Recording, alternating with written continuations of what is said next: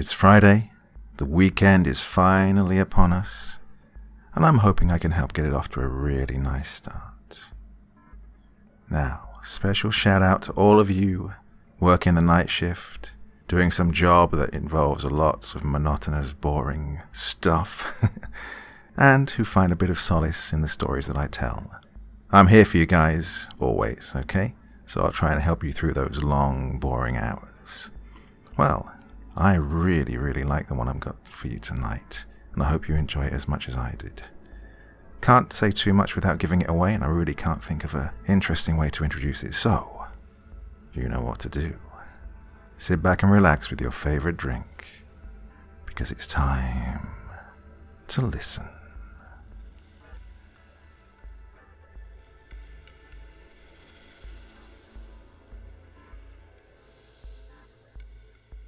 The elevator rumbled and shook as it descended. I could hear the massive gears grinding into place as they lowered the cage-like box deeper into the earth. I felt my heart racing in my chest as the humming of the generators grew more and more distant, and the light from above filtered away into darkness.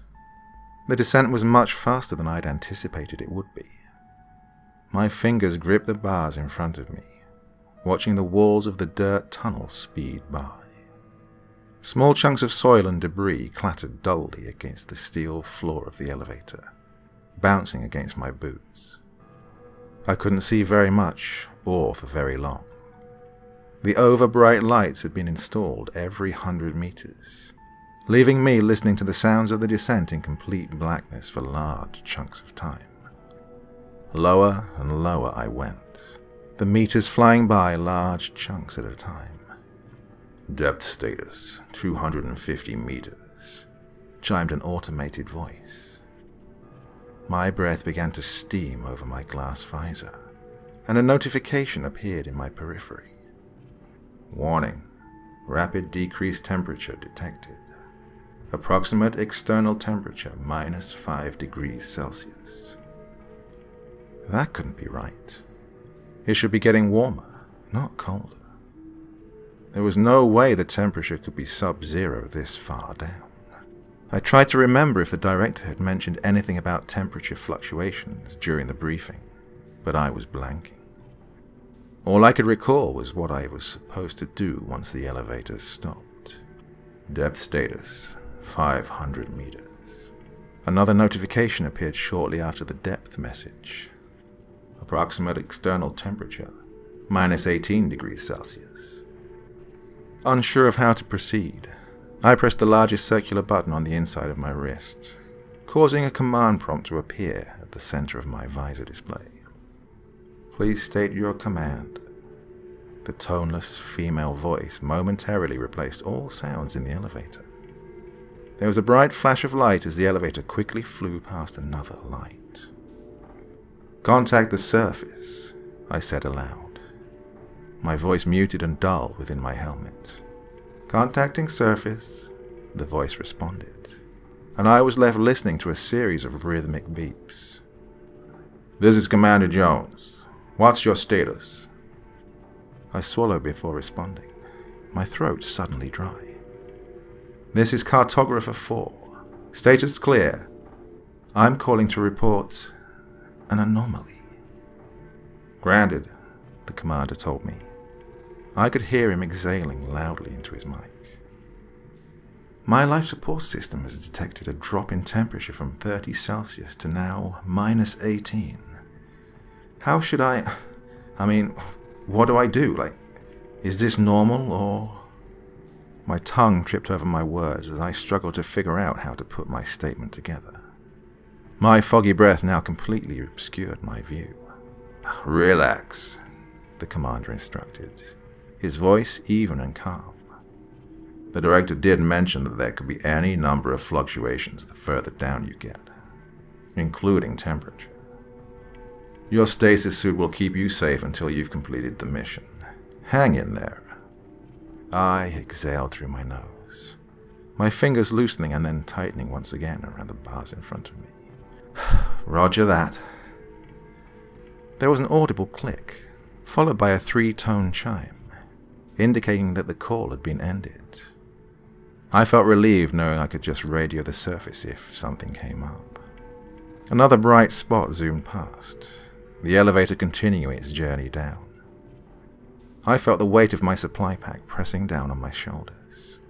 I became very aware of how sticky the inside of my gloves felt against the palms of my hands. Depth status 1000 meters. Approximate external temperature minus 30 degrees Celsius. Unease grew within me, tangling into a knot deep in my gut.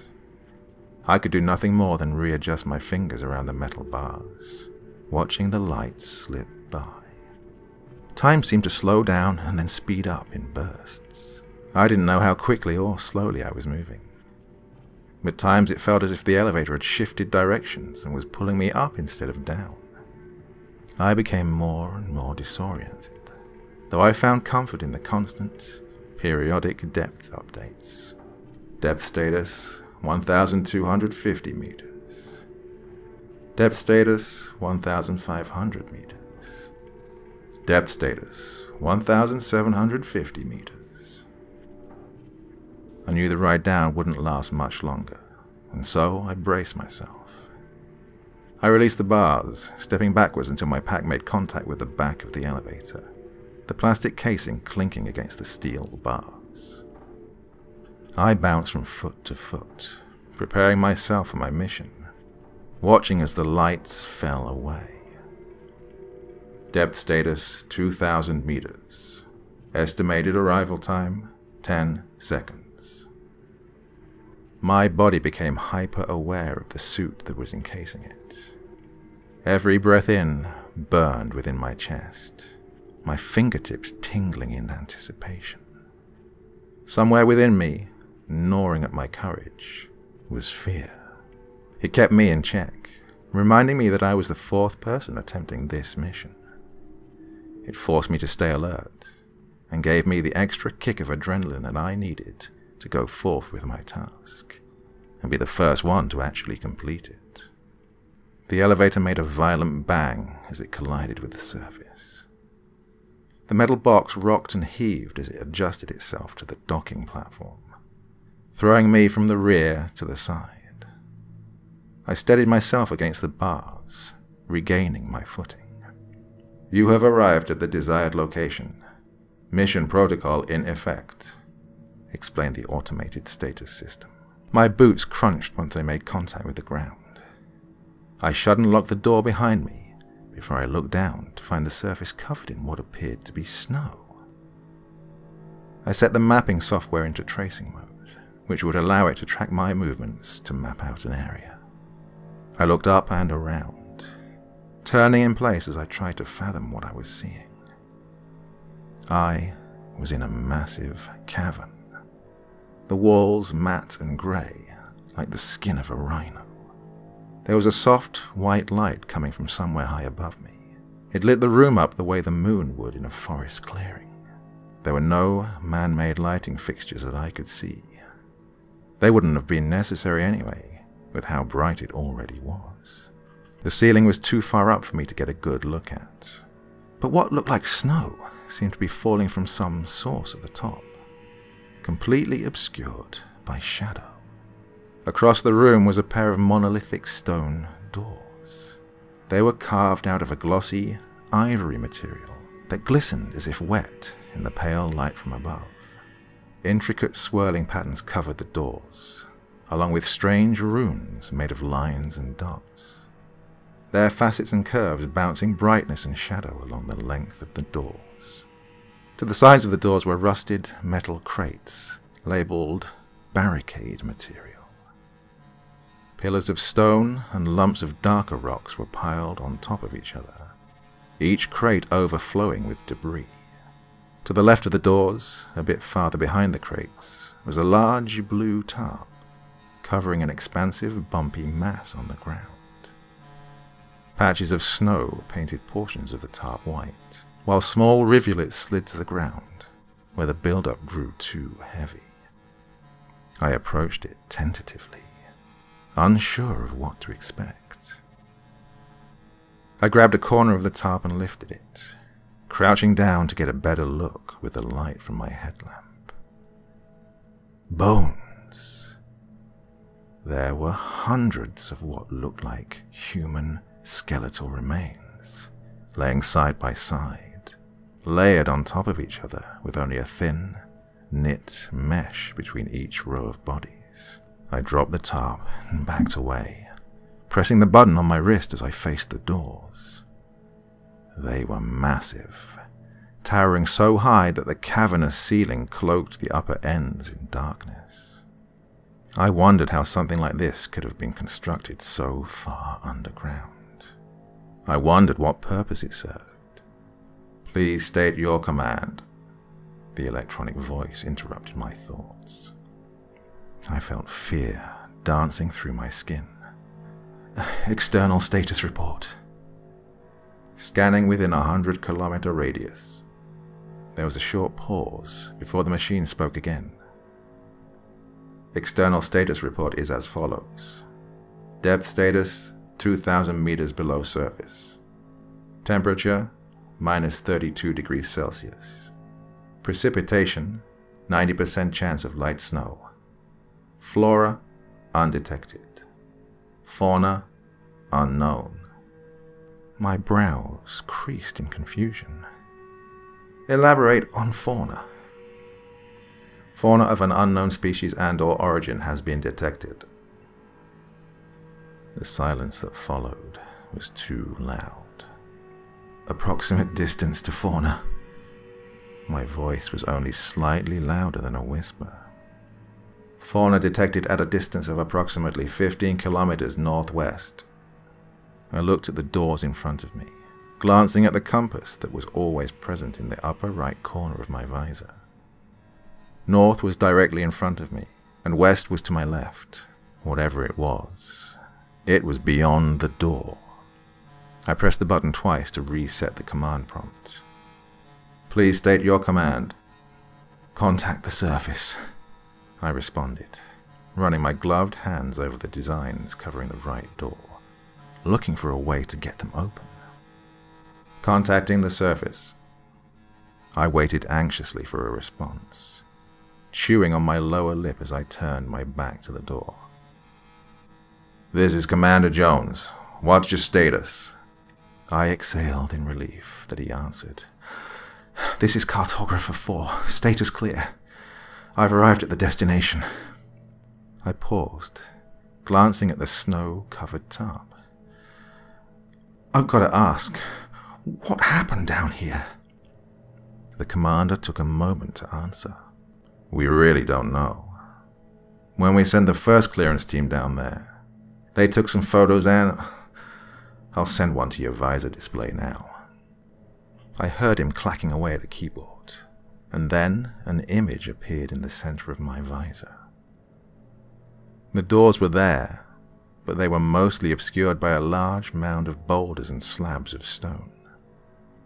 The skeletons were lying all over the mound in various positions, like they were applying their weight against the doors and had died doing so. It appears that the humans we found down there barricaded themselves in the chamber you're now in, in order to keep those doors closed, the commander explained. Though why they did so is beyond us. What do you see down there, C4? The photo disappeared, and I described the snowy cavern, slowly turning back to the doors. My external status report also detected fauna down here. The origin is unknown, but it's quite a ways away.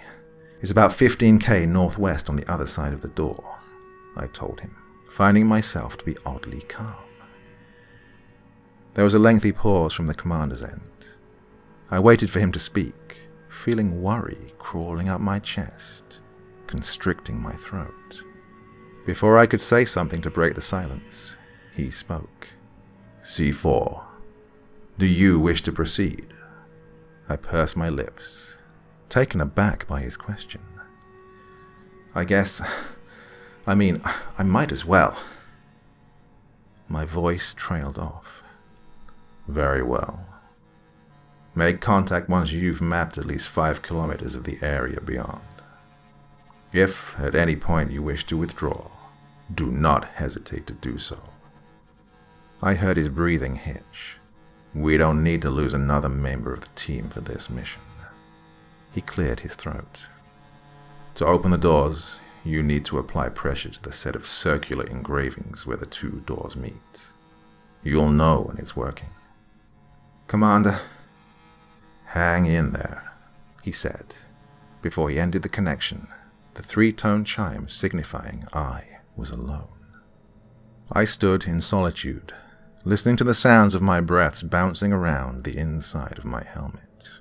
It was time to proceed. I found the circular markings that he described very easily. They were the only ones on the doors, making them stand out from the other nonsensical patterns. I reached up, the very edges of my gloved fingertips brushing the circles. I could just barely get my hand up enough to press down on it. The cavern filled with the clicking sound of gears turning rapidly. I watched as the circles spun in place, realigning themselves to blend in with the other whirls and spirals. A resonating boom sounded as the circles came to a halt, and the doors began to part. They came towards me, slowly, the heavy stone dredging up mounds of snow on either side. The doors groaned deeply on their hinges as they moved, their weight carrying them out. I stepped back enough for them to open without accidentally getting caught in their path. And, suddenly, they stopped.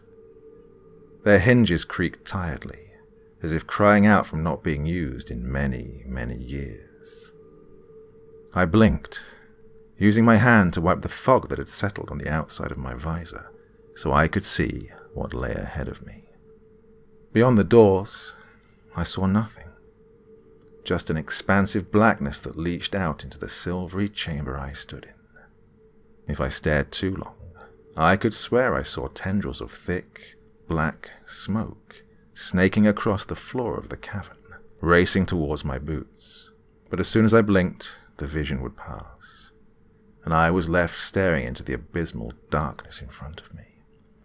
Approximate distance to fauna, 16 kilometers northwest, exclaimed the automated voice. I jumped, the notification catching me off guard. I knew if I stood there shaking, I would never make any progress.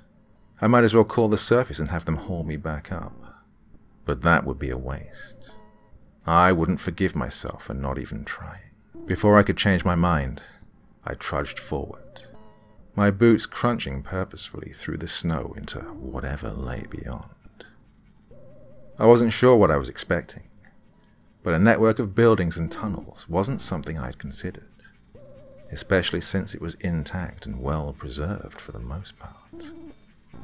As I travelled farther and farther away from the doorway, my headlamp illuminated more of the skeletal remains of the complex city. It was carved from the same pale, glistening stone as the doors, and was just as detailed in its architecture.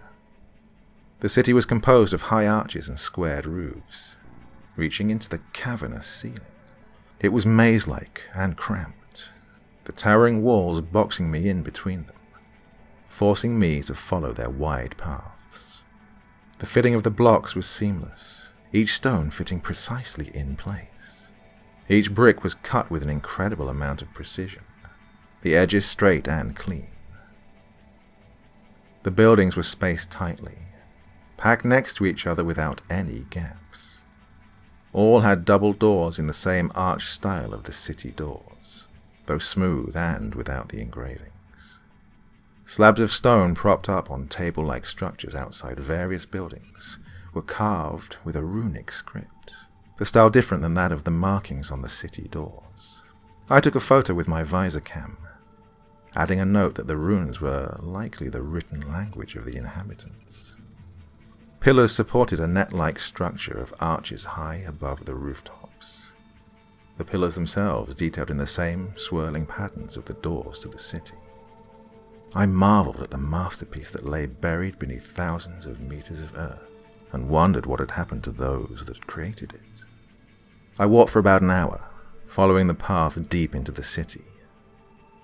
The farther I ventured, the more damage the buildings had undergone. Significantly more buildings were falling apart, the patterns of destruction resembling the aftermath of an attack, rather than the passage of time. I made my way past building after building, pausing as my headlamp ghosted over a particular series of structures. I'd almost missed it amongst the other bent and broken constructs. Rough chunks of loose stone and fine dust littered the area. The walls snaked with wide cracks. Every few steps I had to maneuver around a section of dislodged bricks bigger than I was. On one side of me was a set of buildings, possibly residences. They all bore the signs of surviving a massive impact with varying degrees of success. One was completely demolished, a few collapsing at one side or another. Though carved across them all was a deep groove, like something huge had slashed across the street, destroying everything in its path. I snapped a few photos with my visor camera before carefully moving on. Approximate distance to fauna, 7 kilometers north. I yelped at the sound of the notification. Though it continued to startle me, I didn't want to disable them for fear of being uninformed. Whatever was out there was moving fast and coming closer. I had to hurry up and get out as soon as possible. I took a step and was knocked to the ground as the earth around me began to shake. A low, vibrating rumble filled the air. The sound more of a sensation than something I could hear. It made my teeth clench and my chest ache. My vision grew obscured as my visor monitor picked up interference, blocking my line of sight with mismatched pixels of green, grey, and white. Dust and small stones got dislodged, clattering off the side of my helmet as they fell. As quickly as it began, it ended, and I was left leaning against a wall, panting. I wiped the excess grit off my visor as the display screen cleared up, just as another notification came up. Approximate distance to fauna, 5 kilometers north. It was too close, and I was too far in. I needed out now. Whatever it was, it had caused the vibration and the interference. I had no idea what else it was capable of. I wasn't willing to find out. That wasn't my job as a cartographer. Deeming my mission a success, I set my mapping software to reverse mode. It would now show me the path I took in reverse order, making it easier for me to find my way out. I turned my back on the city letting the map I'd created lead me out the way I'd come in. I picked up my pace, suddenly finding a burst of energy within me. I leapt over boulders and easily skirted around debris. Approximate distance to fauna, two kilometers south. South was directly behind me. I kept up my pace, my breath fogging up my visor. I rounded bends and ducked under low arches, my footfalls thundering over my heartbeat. Approximate distance to fauna, one kilometer south. The scenery sped by in a blur of grey and white, the snow from above melting instantly as it made contact with the warmth of my visor. I wasn't thinking anymore. I was just running, blindly following the line on the map. A second tonal vibration sounded, the force of it using my momentum against me. The pathway heaved, throwing me onto the ashen ground. I slid forward a few feet, vaguely aware of the sound of something tearing. I laid on my stomach for a moment as the vibration continued. That single moment of rest was all I gave myself before hoisting myself up onto my hands and knees my boot scraping against the slippery surface beneath me, just as my health monitoring systems kicked in. Warning, rapid depressurization. Warning, loss of oxygen imminent. The system repeated the notification over and over again, audibly and visually at the center of my visor display. but I couldn't do anything about it. Somewhere, my suit had been torn, and my oxygen supply was leaching out. I had no time left to worry about it. I needed to be back in the elevator, now. I managed to right myself, getting back onto my feet as the intensity of the sound of the vibration picked up.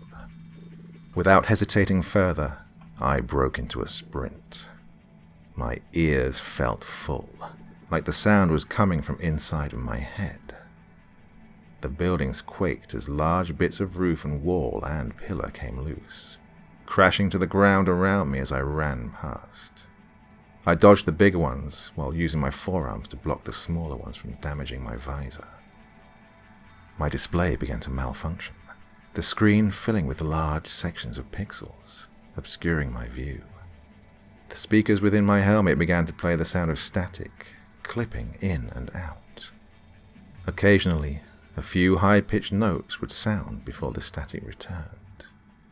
The warning notification didn't stop, though it grew more and more distorted as I continued on. My breaths scraped down my throat, each one more painful than the last. My lungs burning as I inhaled dust and whatever other toxins were present down here. The garbled, almost incoherent voice of the notification system sounded as I dashed around a corner. I could see the light of the entry cavern in the near distance. Approximate distance to fauna 350 meters south. A piercing screech blared out of my helmet speakers as I approached the exit.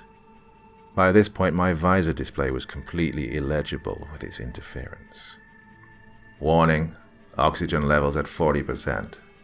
I was so close to the exit now. I could see the looming brightness beyond the massive doors. I was almost there. I was a few feet behind the mouth of the doorways when the notification system coughed out one final update. Approximate distance to fauna 15 meters south. The vibration intensified the sound consuming everything. My displays died, and my audio systems cut out. I couldn't hear it, I just felt it. It was inside of my bones, inside of my cells. It was invading my body, tearing me apart. It forced me to my knees, just beyond the line where the light of the chamber met the darkness of the forgotten city. I dragged myself forward by my forearms, my gloved fingers reaching out to try and pull myself into the light. The sound pressed down on me, as if attempting to merge my body with the earth. The pressure was immense. It was bearing down upon my back. It was rippling across my skin, biting into my flesh. It was forcing itself on my body in screams I hadn't realized I was letting out. A shadow, blacker than the expanse around me, descended over my fallen form. Tightness coiled around my left leg and yanked me backwards. My screams became audible over the unending sound as I watched my fingers sliding over the snow covered terrain, feebly trying to grab hold of something, anything to stop myself. The gloves I wore dug ruts into the snow, reminding me of how close I had come to getting out. I began to kick with my free leg, using any and all remaining strength I had to try and free myself from whatever had hold of me. My leg connected with something solid, and the tightness recoiled. The tone of the vibration shifted even lower, the sound no longer audible but it was impossible to miss. Suddenly, I was upright and sprinting. I ran until I crossed the threshold of the doors and slammed straight into the elevator. Behind the thin metal bars of the elevator door, I pressed the return button in rapid succession, briefly glancing at the open doorway as it began to haul me upwards. I couldn't see whatever it was, because it was as black as the darkness from where it came. I did, however, see something. A mass writhing in the shadows, its tendrils leaking out into the cold whiteness of the clearing. I understood now what those skeletons had been trying to do. I understood now that we had failed them. They died keeping those doors closed. And now, I was being hoisted back to the surface. Fear gripped me as tightly as the entity had. Amongst all of the unknown surrounding the city, there was one truth. The doors of stone were open and I had no idea what had been unleashed upon the world.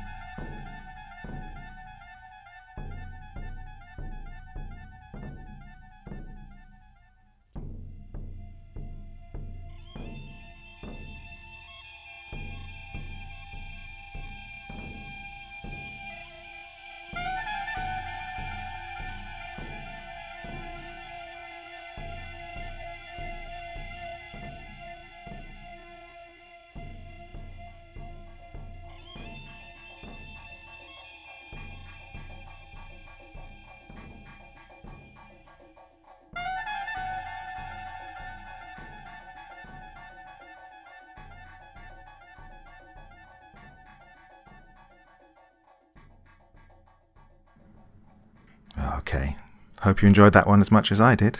Had a sense of foreboding dread building and building throughout it. I know that one just really appealed to me as soon as I read it and knew, I knew I had to uh, narrate it for you all. Well, Friday, weekend. You know where I'll be on Monday. Back here with all of you, I hope. That's all for me for now. You have a nice weekend, okay? Alright, bye bye.